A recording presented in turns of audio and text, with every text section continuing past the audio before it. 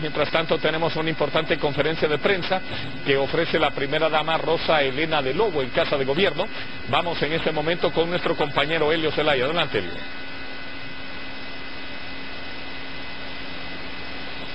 Democracia y gobernabilidad, Usain. Gracias por acompañarme. Yo sí quisiera que le diéramos un fuerte aplauso al abogado Felipe Morales por este trabajo que ha realizado.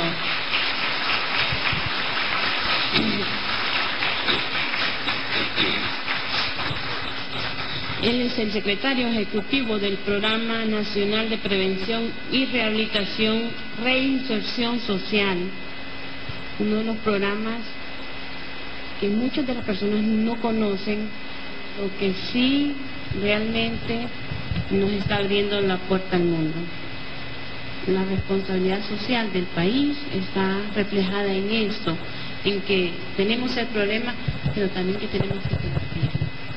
Bienvenidos niñas y niños, gracias por estar aquí acompañándonos, invitados especiales, medios de comunicación, todos.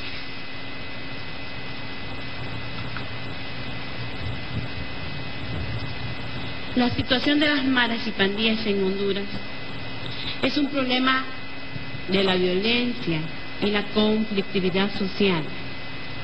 Indudablemente y de manera significativa nos obliga como gobierno a tomar las acciones que posibiliten la superación para bien de la sociedad, la familia y en especial para los niños y niñas de nuestra querida Honduras.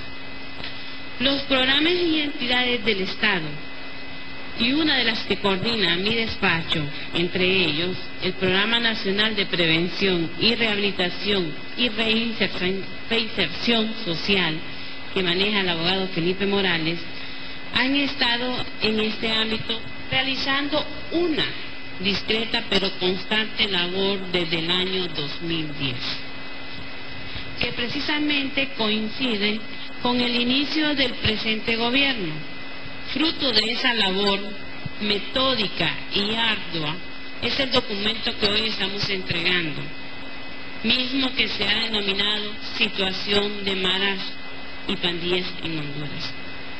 Quiero decirles que muchos de muchas personas no quisieron o no sintieron la responsabilidad de tomar este cargo no es fácil. Eh, pues enfrentamos muchas situaciones a veces incluso difíciles. Pero aquí Felipe fue nuestro héroe. Le digo yo, me dice, mira, primera dama, es bien difícil decirle que no a usted, me dice, porque si hay algo que tenemos es mucho compromiso con los programas y miramos que y a mí me ha tocado la parte más difícil, pero la mejor, porque hay muchos retos que tenemos que superar. Y todas las instituciones o los programas que manejamos son los más difíciles, porque son los programas sociales y cuando hablamos de niñas y niños, de jóvenes, son los temas con que mayor cuidado debemos de tomar.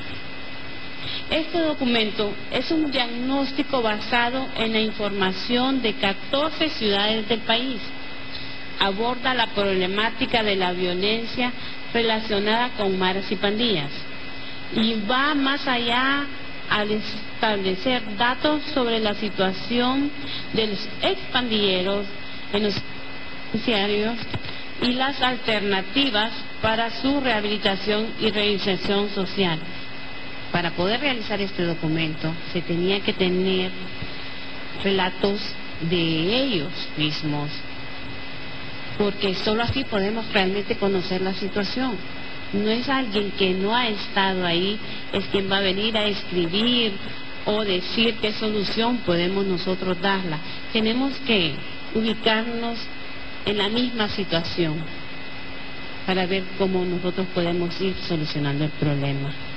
Por ello, como primera dama de la nación, me siento hondamente satisfecha de poner a la disposición de la sociedad civil y las entidades del Estado una herramienta que sabemos será de enorme utilidad para orientar los programas de asistencia y prevención en el problema de la violencia.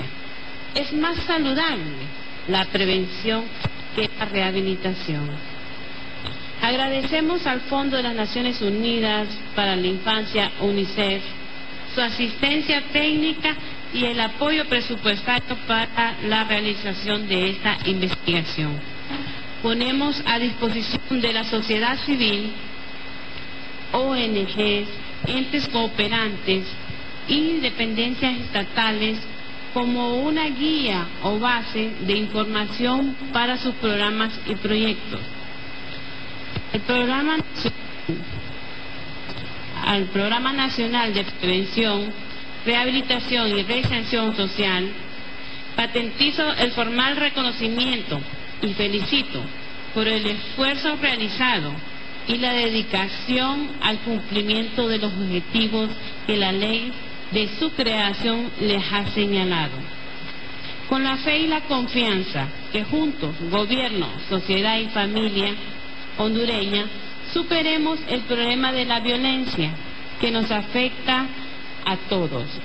Les agradezco su consideración, el apoyo que nos, eh, dan para poder seguir adelante con estos proyectos. Dios nos da la oportunidad del arrepentimiento. No somos quienes para juzgar. Ayudémosles. Muchas gracias. La primera dama, Rosa Elena de Lobo, en esta presentación del informe sobre maras y pandillas que rinde a la sociedad civil hondureña. La primera dama de la nación pues ha hecho un resumen de este importante informe sobre este eh, problema que enfrentamos. Elio Zelaya. Pues este, que van a firmar muchos convenios en este momento, a lo cual podemos estar pendientes aquí. los niños también han venido aquí, personas que han rescatado de pandillas y en nuestro país, y es importante entender todo este apoyo también que está dando la primera dama del despacho, también el gobierno de la República, lo cual pues ellos están muy felices, dice, y a seguir trabajando por un país diferente. Regresamos, Héctor, con